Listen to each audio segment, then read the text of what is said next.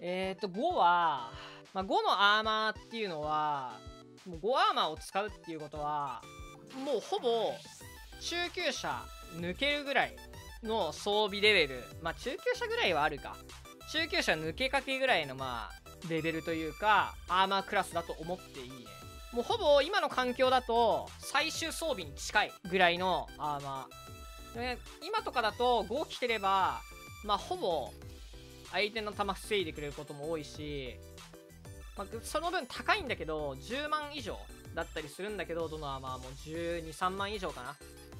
まあでもそれだけの効果はあるし、金をかけるべき部位だとは思うから、まあ、5が使えるようになったら、どんどん使っていくのがいいと思う。まあ、分かってるところからいくか。はい、じゃあまず、グジェリ。グジェリはね、今シーズン S だね。間違いなく S。で、これなんで S かっていうと、今まで性能的に見ると、S ではありえない性能なの、基本的には。柔らかいから結構。なんだけど、とにかく今シーズンは入手性の良さが本当にいいのよ、こいつは。それ一つで、えー、S になった。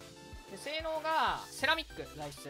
まあ、下から数えた方が早い。本当にクソ材質、セラミックは。アーマークラスが5。胸と腹を守ってくれる。で、耐久は65。多いね。結構。65は結構多い。重量が8.9キロ。ペナルティは、まああるけど、そんなに気にならない。MS-10% ぐらいだから、そんなに気にならないぐらいだね。まあ、ザ・スタンダードアーマーって感じ。で、えっ、ー、と、材質が悪くて、まあ耐久は65だから結構高いんだけど、ラグマンが3になると、交換できるようになるんだけど、コーヒー3個と、えー、ネックチェーン2個交換できて、安い時だと10万ぐらい ?10 万しないこともあんの。で、えっ、と、基本的には、俺は修理するのおすすめしない、このアハマーは。一回使って削れたら、もう売った方がいいね。耐久削れてて、ラグマンに売れなかったらフェンスにでもいいから売って、新しいの買った方が俺はいいと思う。あのセラミック柔らかい上に、治りの効率も悪いから、直すので結構金かかったりしちゃうと、意味なかったりすんの。で、そう、意外とね、売った時の価格が高いから、耐久40とか残っててラグマンに売れたら、3、4万ぐらいで買い取ってくれたりするから、で、フェンスに売っても2万とか3万とかかなとか買ってくれるはずだから、もう売っちゃってね、次、買っちゃった方がいいね。で、これはね、印象はかけなくていいと思う、俺も。タスク完了すると買えるようになるのかなで、買えるようになっても、店売りの価格も安い。12万とか。とにかく、コスパがいいね。入手性が良くてコスパがいい。性能は、まあ、低いんだけど、5の中だと。まあでも、全然いいよ、これは。すごいいい。今シーズンは、ほとんどの人がこのアーマーを使うだろうと思うね。あー、そうだね。そっちの方がいいか。比較でよく言われる。カラウンド。いくか。カラウンド。コラウンド。まあ、いろいろ呼び方はあると思うけど、まあ、これは D ですね。なんで D かっていうと、まあ、確かに、もらえ、持ってたら全然使っても5アーマーとしては使えるし、機能はする。だけど、比較なんだよ。グジェリとほぼ一緒なの、ポジションが。グジェリも、カラウンドも、1回の戦闘をとにかくしのぐタイプのアーマーなのね。で、その1回の戦闘をしのぎきるっていう意味だと、やっぱこっちのは全然いいわけよ。っていうのを考えると、やっぱ D になっちゃうかなって俺は思う。プラパー3から交換と、プラパー4で購入？で、まあ10万から14万前後ぐらいで買ったり交換できたりできる。まあちょっと D は言い過ぎか ?D は言い過ぎかまあ C ぐらいか。まあだから、唯一優れてる点は、ラグマンが3になるまでの間プラパーが3になって先に、ラグマンが3になるまでの間に、まあ一応使える5アーマーって感じだけど、まあでも俺これ使うんだったらトルーパー使うかな。っていう感じかな。で、えっ、ー、と、どういうアーマーかっていうと、アーマースティール材質。えー、セラミックの1個上だね。胸と腹守ってくれます。耐久が 45? まあ、グジェリより20低い。重量が9.8キロ。ほぼ10キロだね。で、ペナルティがでかくて、結構ある。MS-20% 近くあるし、L5 も10下がるし、結構ね、ペナルティがきついんだよね、このアーマーは。こいつの良くないところが、耐久が低くて、一見守ってくれそうに見えるんだけど、すぐね耐久なくなって弾貫通してくんの。で腹も守ってるから耐久も減りやすいしマジでね微妙かなーって感じだね俺の中では。でしかも生しアーマースティールで修理効率がいいの。で修理効率がいいから直したがっちゃうんだけど直して使うほどじゃないんだ。耐久減ったらこれもね売った方がいいぐらいだと思うのよ。っていうのがあって俺の中では結構評価が低いかな。どうかな。タクテックまあ S でもいいかな。まあ S マイナスぐらいだね。A にいてもおかしくない。アーマーリグです。材質がポリエチレン、えー、まあ、上から数えた方がいい。早い。すごいいい材質ね。守ってくれるところが胸だけ。これはね50だったら、まあ、胸だけでもいいと思う。で耐久が50で、えー、重量 9.5kg アーマーリグの中だと重い方だね 9.5kg は。まあでもこんぐらいになってくるとこれ使えるレベルだとストリングスもそれなりに高いからまあまあまあそんな気になんないと思う。ペナルティは少ない方だね。かなり少ない。もうほとんどないようなもんだね。で中身が18スロットでちょっと使いにくいねアーマーリグの中の形だと。えー、と一番上にマガジンポーチが4個あって、えー、真ん中にグレネードポーチが4個。1マスの。で下下段が、えー、左右にマガジンポーチ2マスの。が1個ずつ真ん中がグレネードポーチ。4マスがないから、まあ、ヘルメット入んないとかでちょっとね狭くは感じると思う。一応ラグマン3からえー、交換できるんだよね。一応交換はできるんだけど、高いのよ。もう、ちょっと前だと安かったんだけど、GP5 っていうなんかあの白いガスマスク5個となんか赤いマスク1マスのあれが6個。でねいくらだろうなだいたい平均して、まあ、20万円ちょっと20万前後ぐらいかかる交換に。ただ、まあ、3から交換できることもあってそこはすごいいいね。えっと金を使わない時はグジェリで金を使うんだったらパクテックみたいな使い分けがいいと思う。ポリエチレンで耐久50だから、えっと、まあ、グジェリにすると、まあ、ほぼ2倍ないしぐらい。まあ、2倍は言い過ぎか。まあでもそれに近いぐらい硬いから、こっちの方が。すごいいいアーマーだね。アーマーリグ。まあ、せっかくだし、これと比較対象によくなりがちなアーマーリグいくか ?ACPC いくか。これはね、よくタクテックと評価比較されるアーマーリーグなんだけど、まあちょっと性能だけ見るか、先に。えー、材質がポリエチレン。まあ一緒だね。アーマークラス5の、えー、耐久が60。アーマ、タクテックよりもね、10多い。でね、ポリエチレンで耐久60あるのは、マジで硬い。これね、本当に硬いね。で、守ってる範囲は胸のみ。で、重量が 8.5kg で軽めで、ペナルティはタクテックよりもさらに少ない。もう全部ね、5%以下ぐらいだから、もう本当にね、ペナルティはないようなもんだね。そう、前のシーズンまでは、もうほとんどの人がこれしか使ってないぐらいの性能。今でも性能はマジでピカイチだね。5アーマーの中でも性能だけで考えたらやっぱここなんだけど、今季はちょっとそういうわけにはいかなくて、性能だけで評価ができないから、マジで強いね、このアーマーは。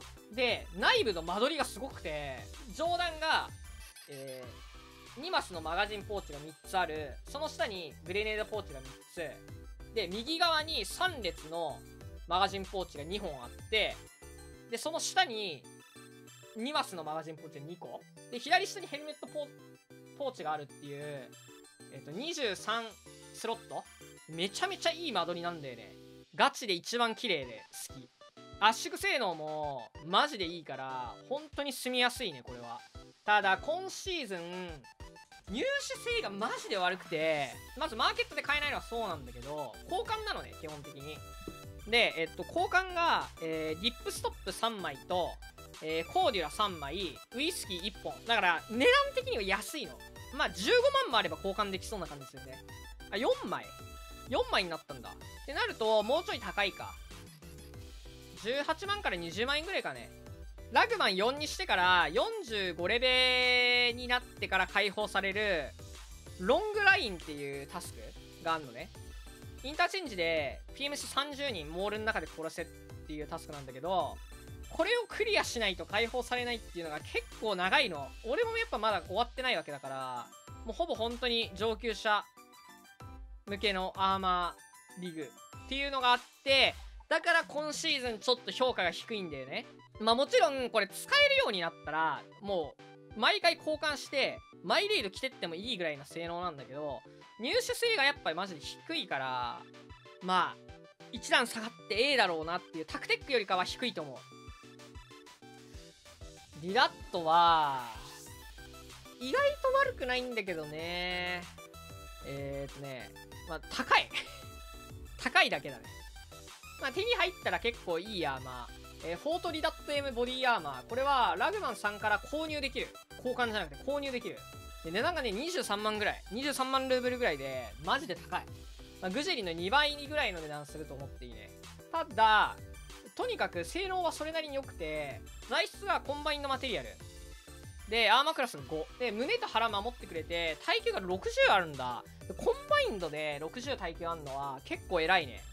だからといって23万出して使うのかって言われるとちょっと微妙なんだだから評価がちょっと低いで重量がなんと 13.5kg で重いのよねすごいでペナルティは重さにしては軽い方中ぐらい？10%前半ぐらいだねまあ、だから、まあ D ではないけど、手に入ったらすごいいいアーマーだし、悪くないから D ではないね。まあ C か B のどっちかだな。B マイナスから C プラスぐらいだと思う。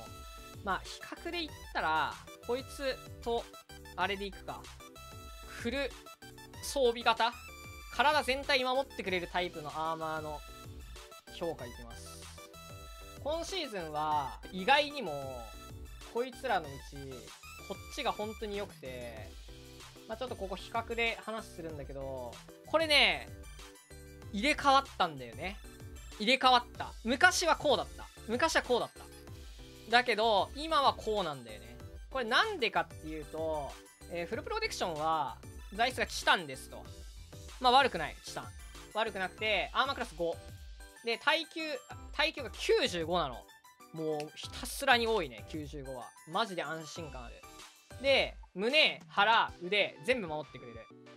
で、重量が 17kg。まあ重いね、はっきり言って。これ着てたら、もう最初から結構重くて、メルドニンとか入れてないと、まあスタミナ回復しない可能性はあるね。で、ペナルティが MS-24%、えー、旋回速度マイナス20%、エルゴマイナス22で、まあ相当でかい。アーマーペナルティの中だと。こいつ昔良かったっていうのが何かっていうと、タスクの報酬で1個もらえるの。で、基本的には他では本当に手に入んないのね。レイダーとかもめ、ってか来てないかな入手経路がほとんどなくて、えっ、ー、と、タスクのクリア報酬なんだよ、基本的に。で、タスクのクリア、今まではタスクのクリア報酬で1個もらえて、みんなそれをマーケットに出してたのね。で、めちゃめちゃ安かったのよ。13万円ぐらいで買えるの。で、13万円でこの性能買えるんだったら、ちょっと重いの我慢しても結構使ったら悪くなかったんだ。で、特に狭いマップ、特にラボとかなんかは、これを買って着ていくのが、かなり俺はティアが高いと思ってたのね。狭いから重量のストレスもあんま感じないし、アーマーとしての性能は折り紙付きでしょ？で、値段も13万とかでこの辺と変わんないの。その辺考えると、めちゃめちゃいいアーマーだったんだけど、マーケットで買えないようになっちゃったから、一点、転落。っていうのが、このアーマーの今の実情だね。で、逆に、この、今季俺の中で評価、うなぎ登り。フォートリダット T5 ボディアーマー、通称サムライアーマーって言われてるアーマーなんだけど、こいつはもう D からもう爆上げだね。まあ A プラスないし、まあ S あっても正直いい。これはね、多分ね、賛否あると思う。これ、俺だけかもしんないね。ここの辺に入れてたりすんのは。で、こいつの何がいいって、えー、っと、ラグマン4になった後なんだけど、交換がありますと。タスクもやんなきゃいけないのかな？で、えー、っと、材質がコンバインドマテリアル。上から3つ目。相当硬い、この時点で。で、この時点で、原宝よりもね、いいのよ。材質が。ただ、治りは悪いよ。で、アーマークラスが5で、胸、腹、腕、全部守ってくれる。で、なんと耐久値が驚異の 100? これはね、すごいマジで安心なんだよね、100。コンバインドで100はマジでね、優秀。その代わり、重量が 16.5kg で、原フォフルよりは軽いんだけど、まあ重いです。で、MS ペナルティがやばくて、MS ペナルティマイナス37%。で、ターンスピードマイナス15%、エルゴマイナス14。だから、まあ普通に来てったら、マジで重すぎて、足も遅いし、スタミナも回復しないかもみたいな感じなのねでも俺ねもともとストレングスが結構高かったのよでメルドニンも刺してストレングス上がるから意外と運用できたのねまあ足遅いんだけど撃たれてから打ち返しても余裕で殺せるぐらい硬いのやっぱ。相手が強い球使ってなかったら。だから今の時期とかは本当に強いね。もちろんみんなの球のレベルが上がってきたらちょっと厳しくなってくる可能性はあるけど足打ちとかでも殺されづらいから。だから俺はもう今アルティンとこれを使って打たせて取る。相手に先に打ってもらって位置割ってから殺すっていうのが、まあ、かなりいいなって思ってる。まあただまあそうか後半まあ今のティアリストではあるけどまあ後々下がってくることを考えたらまあこの辺かな。でこいつマジ何が優れてるかって交換がめちゃめちゃ安いの。えっ、ー、とガスマスクフィルターっていうあの緑のフィルター6個とパラコード2個なのね。で大体14万円15万しないぐらい。14万とかそんぐらいで交換できるのねマジで安いマジで安いしマジで強いうーんまあちょっとまあ A プラスぐらいですかねまあまあちょっと置いとくか。まあちょっと他のアーマーと合わせて強化していこう。まあこれ本当に今シーズン俺ね、一押しはね、えー、っと、年俸はさっき紹介したフルと、プラスハイモビリティってこれ2個あるのね。まあこうかな。えーと、じゃあ、アサルトの方から。アサルトは、まあ C、まあ拾えたら使うけど、基本的には使わない？拾ってもまあ、サムライアーマーとか使った方がいいし、まあちょっと微妙かなっていうのがあって、この辺。まあ一応拾えるから、アサルトは。アサルトはね、ボスの護衛が来てたりするから、ローグとか。まあ嘘か、拾えるわ。まあマジで稀に拾える。こっちはマジでもう全く拾えない。アーマークラス5で、えー、胸、腹、腕全部守ってくれます。耐久が75。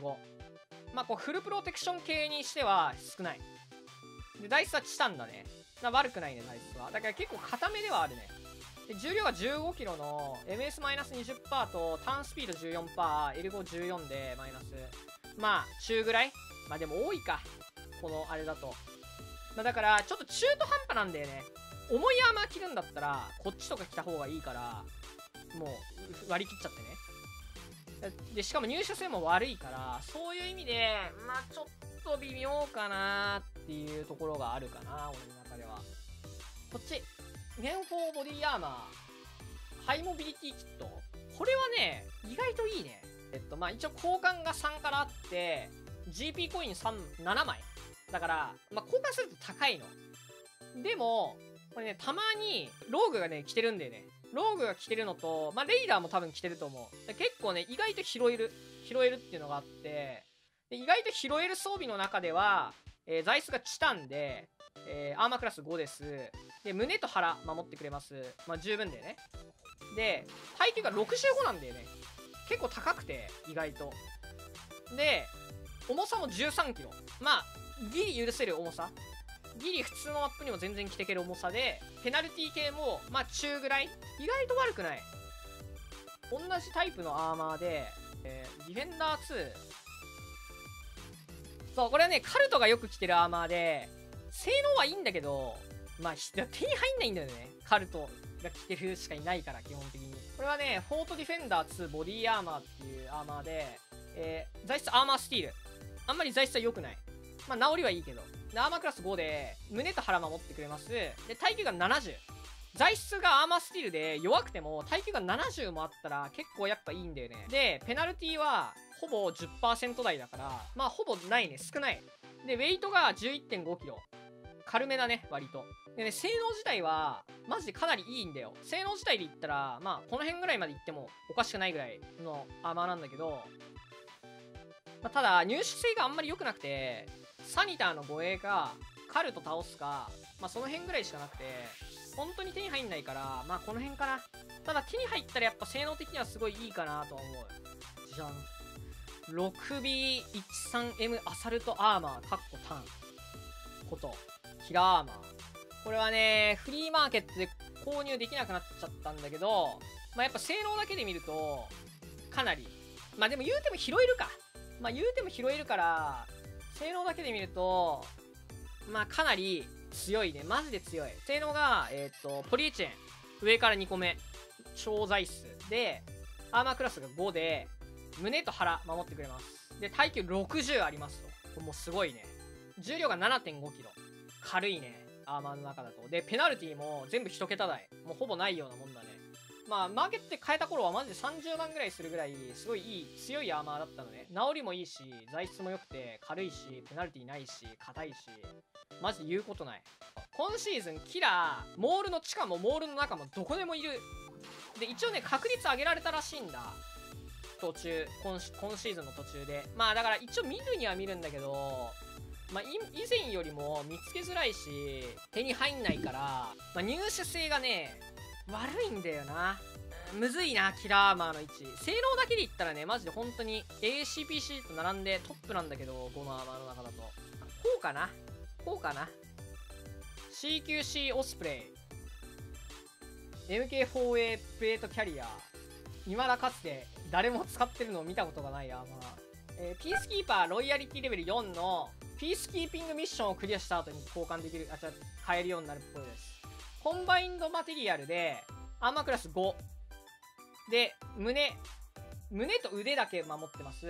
で耐久55はい18万ぐらいらしいですね。耐久55で重量 12.5kg のえー、ペナルティが全部中ぐらいだね。MS-16% ぐらいでターンとかも11%まあ悪くない。中ぐらい。で重さもまあアーマーリグだからリグの重さも考えるとまあこんなもんかっていうまあ中ぐらいだね。どれを取っても中ぐらいの性能。ただコンバインドで55でしょ。コンバインドで55だからまあ悪くはないね。結構硬いよ。まあでもうんまあでも。まあでもうんって感じか。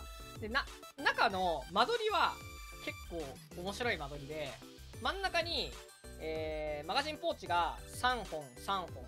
で横に3マスのマガジンポーチが1個ずつあって下にグレネードポーチがある感じだね。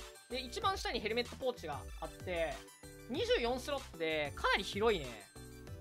でも18万でしょ？で55のコンバインドだからまあ、これ使うんだったらさらに5万上乗せしてリラット使った方がいいな。硬さ的な問題でもこっちのがいい気はする。っていうのを考えるとやっぱこの辺かな。まあそんな感じか。こんな感じか。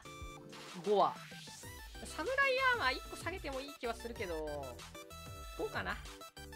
まあこれかなり賛否あると思うんだけど1個言っときたいのがさっきちょっと入手性を考慮しないティアリストにしたらみたいな話あったんだけどこのゲームにおいてコストと入手性を考慮しないティアリストってありえないと思うの。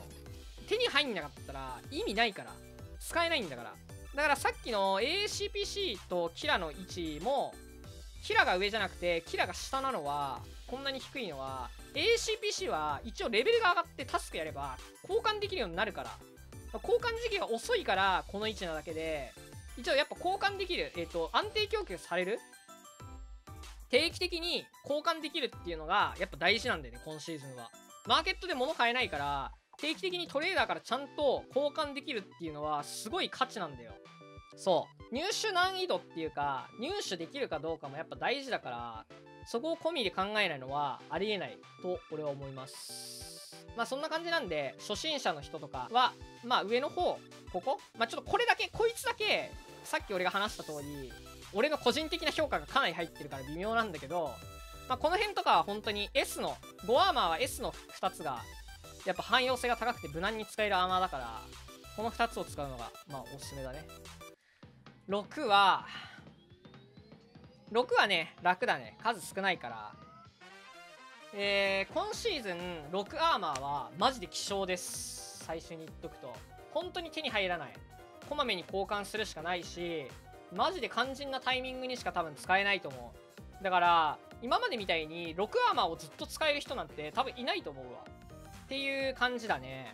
まあ、ただ、6の中で入手性の良さとかを考えて評価するわ。まあ、まず、一番上は間違いなくスリックだね。こいつは、毎シーズンから続いて、交換が未だにあるから、こいつは間違いなく、一番上 S だ。6BT6094A スリックプレートキャリア。色違いあるね。えっと、黒、レンジャーグリーン、タンカラーの3色ある。一番見るアーマーだと思う。初心者の人も。えー、材質がアーマースティール。材質はね、あんまり良くない。ただ、治りはいい。耐久が80あるのね80あるから結構いいのよ。治りが良くて材質が悪いことがそんなにデメリットになってない。えアーマーゾーンが胸だけ。まあ腹も守ってくれたら嬉しいっちゃ嬉しいけどまあしょうがないね。で重量は 9.7kg で見た目にしては結構重いね 9.7kg は。でペナルティは MS-10 倍以外はほぼない。こいつのいいとこは6アーマーのくせに入手難易度がそんなに高くないことだね。ラグマンが一応4になると交換があってトルーパーアーマーこの3のこいつ？じゃあ4だ。こいつが、えー、3つとコーデュラ4枚アラミド4枚。40万ぐらいかな？まあ高いね。まあでも6の中だとやっぱ入手できる。であとね意外とhidden stash から出んだよね。あとね dead scav にもね入ってる。でねちょっと前はねあのディシャラの護衛がつけてたんだけど最近あんま見ないね。ただまあ、ほぼ帰ってこないと思った方がいいね。3×3 でカバンにも入りやすいし軽いからまあほぼ帰ってこないだろうね。あーサニターの護衛もつけてるか。で次がヘックスグリッド。スリックと並んで、まあ、6アーマーの中で最も硬くて使いやすい。アーマーと言われてた。アーマーだね。ヘックスグリッドは、えー、材質が、えー、ポリエチレン。でアーマークラス6で胸しか守らない。耐久が50で、えー、重量が 7.7kg でペナルティはスリックと一緒でほぼ一緒。スリックよりもね少ない。だから実は性能的にはヘックスグリッドの方がスリックよりも性能はいい。耐久50で低いように見えるんだけど材質の問題でほぼ実効耐久値は一緒ぐらいなんだよね確か。ただ入手性の問題でやっぱ今シーズンはこっちが上だね。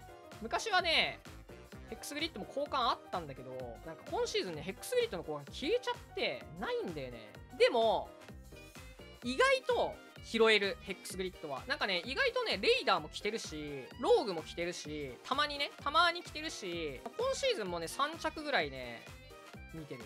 うわ、難しいなこの、ちょっとまあ、ちょっとこの辺置いとくわ。後でちょっと、調整する。ズク 6A。ズク 6A さんさ、行方不明じゃない？ただでさえ前から行方不明だったのにこいつ。BNTI ズク 6A ヘビーアーマーね。えー、材質がセラミック。はいもう材質の時点でテンション下がるね。アーマークラスが6で耐久は75まあだ多いね。セラミックだけど。で胸と腹守ってくれる。唯一腹も守ってくれるこの形のタイプの。で重量 9kg で意外にも軽い。で、ペナルティは、まあ、MS-13% あるけど、まあ、比較的少なめではあるね。まあ、そうだね、グジェリの6アーマー版っていうイメージ。一応、シュターマンの護衛が来てるっていうのが定説ではあるんだけど、マジで確率低いと思う。あとはね、ハイドスタッシュでも出る。けど、スリックのが見るね。こいつより。D でもいいね。マジで手に入んないし、上の2つが比較的見るから特にスリックなんかはさ手に入るわけじゃん普通に。それを考えるとやっぱ D だね。これも悩むんだよな。俺これの評価低いんだよな。でもカタログスペックで見るとそんなに悪くないんだよね。こいつね。これねタジーラが着てるチェストリーグ。タジーラアーマーとかって言われるけどフライプレシジョンの AVS ムバプ材質チタン。チタン。だから悪くない。そんなに。でアーマークラスが6で胸守ります。耐久も60で結構高い。で、重量も 7.8kg で低いし、ペナルティも全部1桁台。悪くないんだよね、スペックは。でもね、俺ね、あんま好きじゃないんだな、これな。で、中のインベントリスロットが、マガジンポーチが12マスなんだけど、マガジンポーチが123、123っていう、マガジンと回復しか入んない。まあ、ほぼ何も入んないね、マガジンと回復入れたら。まあ、すめはしないね、ちょっと。でも、俺これ嫌いだけど、性能はやっぱ良くて、供給量もある。ファクトリーだから、タジーラって結構やっぱ倒しやすいし、で、足打てば、耐久マックスのまま拾えることも結構やっぱあるのね。それを考えると、やっぱ結構評価高いのかなとは思うね。ただ、そう、今シーズンすごい大事なことがあって、6のアーマーリーグってポンポン使い捨てらんないわけじゃん。だから、治りの良さって結構大事なの、今シーズン。6アーマーに関して言えば。ってのを考えると、いや、ヘックスよりも性能自体は確かに弱かったりするんだけど、やっぱヘックス今シーズン手に入んないから、スリックが簡単に手に入ることを考えるこうだな、こうだな。A なしで B のプラスマイナスだね。えー、まずこいつこの、えー、NFM ソーインテグレイテッドキャリアボディアーマーてかこのさ NFM THOR NFM トール？これメーカーなんかな？このこいつもさ同じメーカーだよねこれ。ちょっと問題あるんじゃないの？これ製品に。こいつはコンバインドマテリアルでアーマークラス6で胸腹腕全部守れます。ただ耐久が55低い。はっきり言って。しかも値段もこれね40万ぐらいすんだよ。ルーブルでは売ってるんだけど40万ぐらいすんの？もうありえないぐらい高いわけ。この性能はね俺ないと思うわ。で重量 18kg の MS-28% ターンスピード -16 エルゴ -20 これはね D だね。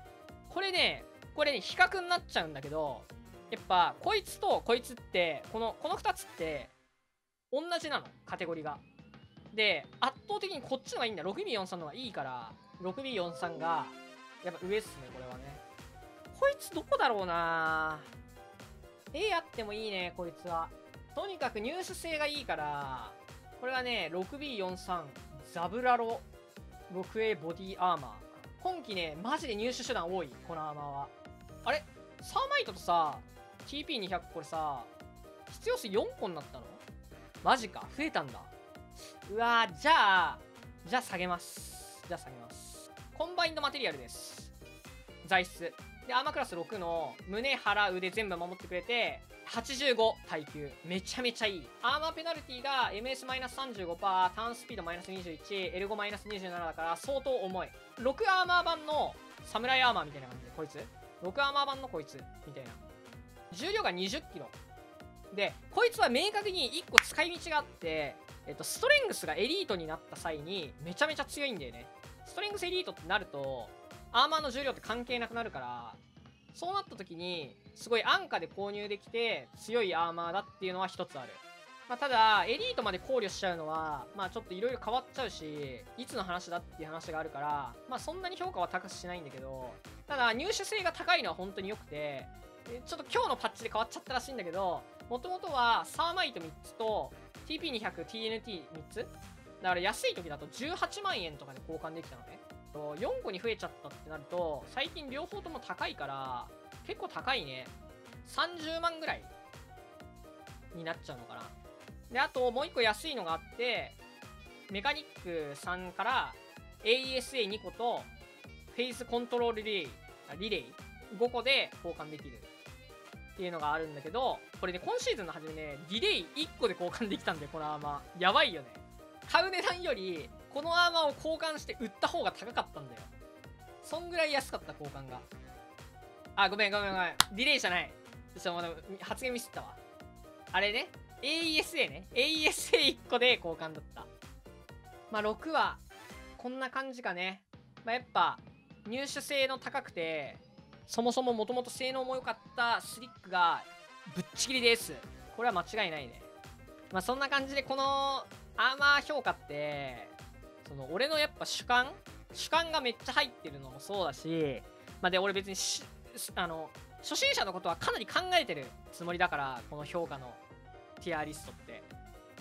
考えてるから、まあその辺も考慮して、で、特にコスト入手性性能じゃないから、やっぱこのゲームって。入手性とコスト。で、特に今シーズン入手性だね。入手性がマジで大事だから、まあ、そこを重視して考えてますよっていうのをちょっと理解していただければなと